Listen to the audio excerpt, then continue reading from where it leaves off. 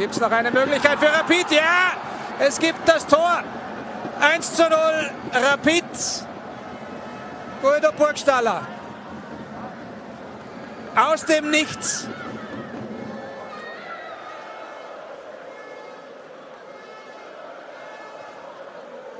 Aus einem Einwurf.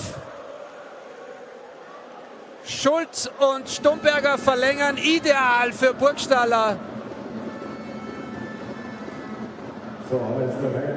Und der hat kein Problem mehr hier den Ball im gegnerischen Netz unterzubringen. Also das war viel zu billig, viel zu einfach.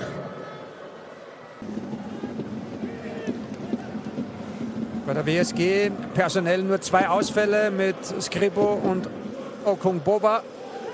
Wir sehen hier die Optionen, die Silberberger noch hat für die Offensive. Schan Rogel, auch Julius Erdeltaler wieder fit und auch Sandy Ogrinetz wieder einsatzbereit. Wir sehen aber das 2 zu 0 von Rapid. Marco Grüll, 51. Spielminute. Der WSG Schreck hat wieder zugeschlagen.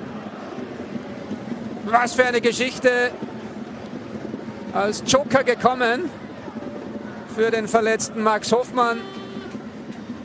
Toller Lauf von ihm in die Tiefe, perfekter Pass. Und dann ein idealer Abschluss. Keine Chance für Oswald. Der Pass von Kostelnik ideal in den Lauf von Marco Grüll und dann eiskalt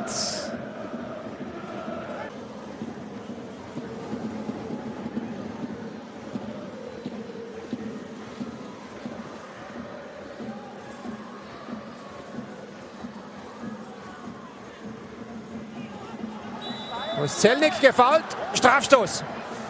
Klare Sache. Ah, was für ein Einstand für Ogrinetz. Ein paar Sekunden auf dem Platz und dann verschuldet er einen Elfmeter.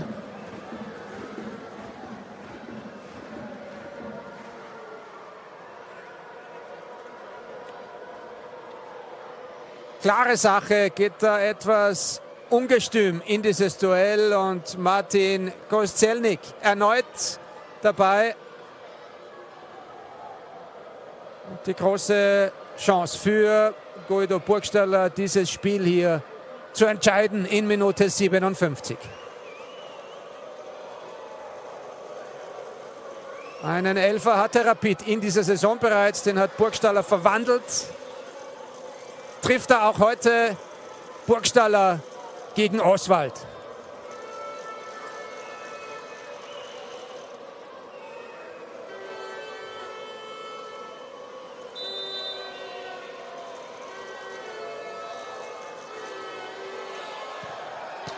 Sehr souverän.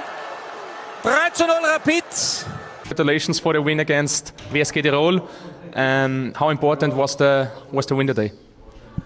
This win is so important for us. We need these three points in the table and for for self confidence of us before before the so uh, so important match. So I think we we start the match not good, but by the time we were better and better.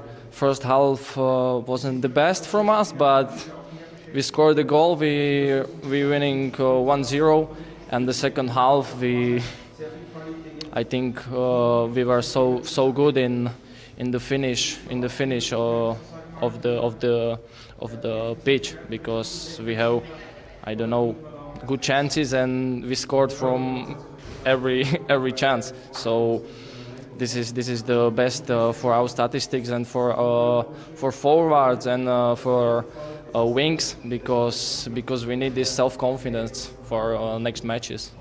How do you feel about your three assists?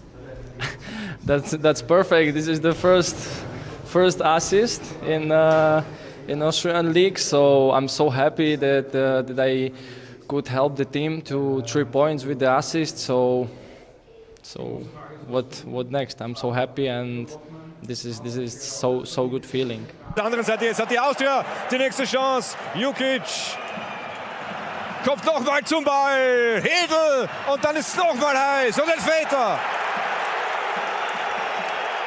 Das Foul an Dominik Fitz. Und Elfmeter für die Austria. Was für eine Phase jetzt.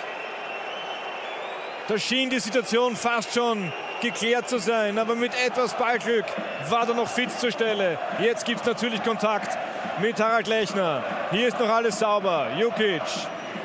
Da kommt Hedel. Koselnik mit Pech. Und Solbauer und Koselnik nehmen Fitz in die Zange. Also ich denke, die Entscheidung wird nicht zurückgenommen. Das war mit Sicherheit keine klare Fehlentscheidung. Und das nimmt Fitz, nun na, sehr gern an in dieser Situation. Wer hätte das nicht gemacht? Und jetzt gibt es für ihn die große Chance. Aufs 2-0. Er, der zuletzt so oft auf die Latte oder Stange geschossen hat, hat die Möglichkeit auf das frühe 2 zu 0 für die Austria im Derby. Das Duell mit Niklas Hedel. Souverän verwandelt. How is the feeling about the Wiener Derby next week? Yeah, I'm, I'm looking forward for the derby because it's uh, it's a big match for for Rapid, and I know from the start I come here. We don't we don't play against uh, Austria, but every everyone everyone wants about this match. We have to we have to uh, or something, and I know everyone everyone from fans from our team from realization team wants the wants the good play from us. Solche Bälle muss Philipp Köhn in der Bundesliga auch nicht allzu häufig weit wegschlagen.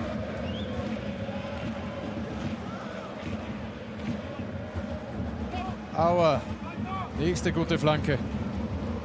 Koselnik. Page. Zieht auf gegen Ulmer, Ball noch im Spiel. Ja, man sieht, Rapid hat gute Lösungen, immer wieder Stress im Strafraum der Salzburger, ungewohnte Situation, noch dazu mit so einer Führung.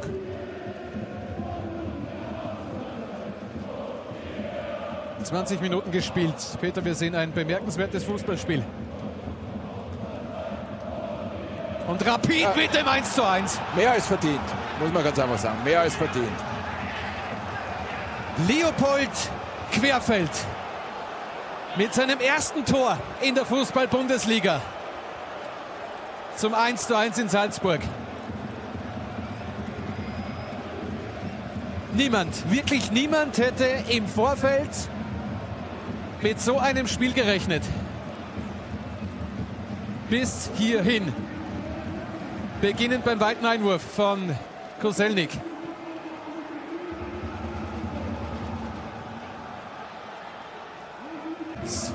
Kerschbaum. Den Rempler. Platz für Scheschko. Platz für Sucic. Und eine wichtige Defensivaktion von Querfeld. Geht noch weiter. Salzburg wieder dran. Und die Chance. Querlatte. Unangenehm für einen Torhüter, der kaum beschäftigt ist, wenn er dann plötzlich gefordert wird.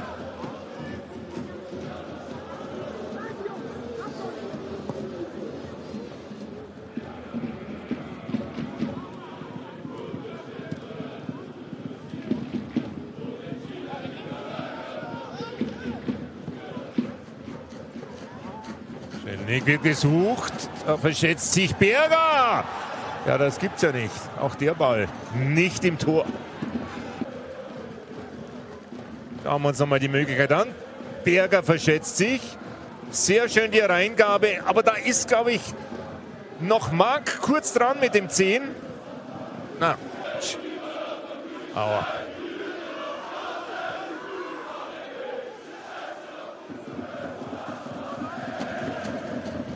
Wieder der schöne Diagonalpass hinaus. Jetzt muss es ja soweit sein. Es ist auch soweit. Längst fälliger Ausgleich wieder nach demselben Strickmuster wie zuvor die Chance von Burgstaller, als der Ball noch drüber sprang. Sehr schön dieser Diagonalpass. Genau in die Richtung raus, wo die Rapid-Fans sind. Kleine Erleichterung bei Zoran Barisic. Ja, diagonal raus. Viel zu viel Platz draußen wieder. Und dann Bajic. Dieses Mal nicht flach gespielt. Halb hoch. Und Burgstaller geht genau dahin, wo man hingehen muss, um was zu ernten. Hugonet kommt nicht mehr in den Zweikampf.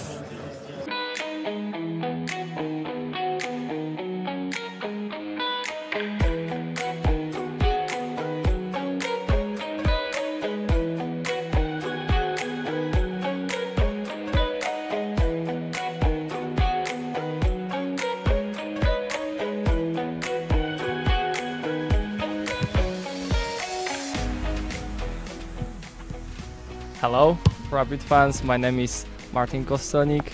I'm glad that I can be in this club, very good club, Rapid Wien, and I'm looking forward to you on the stadium. Ja, es wäre natürlich eine Geschichte, wenn gerade er vielleicht noch hier entscheidend in Erscheinung tritt in dieser Schlussphase. Ausgerechnet der Leihspieler von Rapid. Flanke nicht uninteressant und das gibt die Chance. Und da ist der Treffer.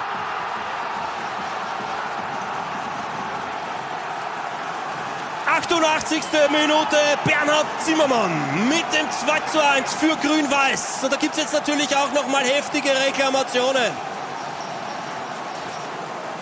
von Seiten der Hartberger. Schauen Sie mal auf die Emotion von Alexa Page in Richtung der Fans, auch Moormann nochmal mit der Aufforderung, Gas zu geben.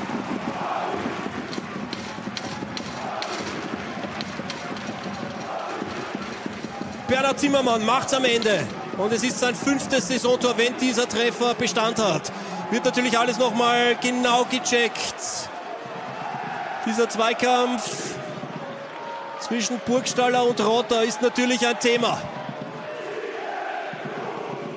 Aber Schiedsrichter Ebner lässt diese Szene weiterlaufen und die Frage ist, ob dieser Einsatz von Burgstaller noch regelkonform ist. In diesem Fall sehe ich da nicht unbedingt eine klare Fehlentscheidung und das ist natürlich auch ein Kriterium. Der Abschluss von Kerschbaum wird dann noch abgefälscht, sodass Wette nicht mehr rankommt. Da passt dann alles zusammen vom Timing her bei Zimmermann, der reinzieht und sich nicht mehr am Abschluss hindern lässt.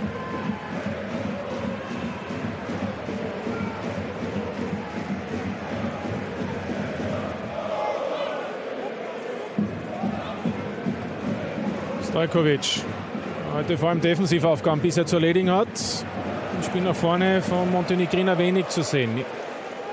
Wieder Kröll. Da muss dann Ziereis hinaus, als Stojkovic noch nicht da ist. Rapid bleibt im Ballbesitz. Schick. Koschelnik. Burgstaller lässt durch. Burgstaller! 1-0 Rapid. Mit der ersten gefährlichen Aktion geht Rapid in Führung. Und Kompliment an Ferdi Treuf, der hier den Ball weiterlaufen lässt.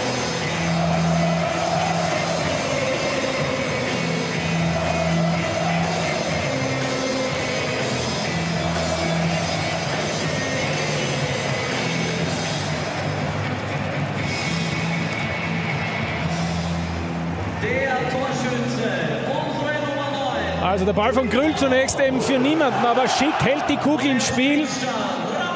Und dann achten wir im Zentrum nach dem Ball von Koschenik.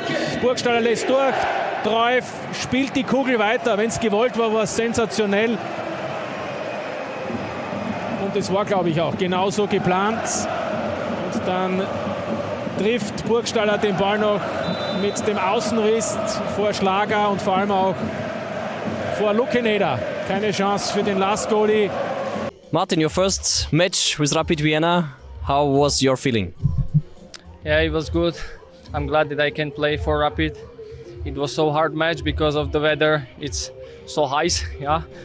Uh, and we scored two goals, but we get to it's it's not good about uh, about our mistakes. But I think we have we have more chances, and yeah, my feeling is good, and I'm glad I can be here.